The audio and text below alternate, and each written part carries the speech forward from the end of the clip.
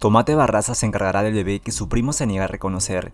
El popular cantante demostró su lado más humano y le dio una lección al hijo del Chato Barraza. Ni las denuncias públicas en el programa de Magali Medina, ni el llamado a que el Chato Barraza haga entrar en razón a su hijo, logró que José María Barrasca reconozca al bebé que acaba de tener Andrea Muñoz, quien fue pareja del cantante. La dinastía Barraza continúa. Bienvenido a la familia, bebito hermoso. De esta forma y acompañado de su texto con tres fotos, el cantante le dio la bienvenida al hijo de su primo José María Barraza, quien se negó a darle el apellido y mantener a su pequeño.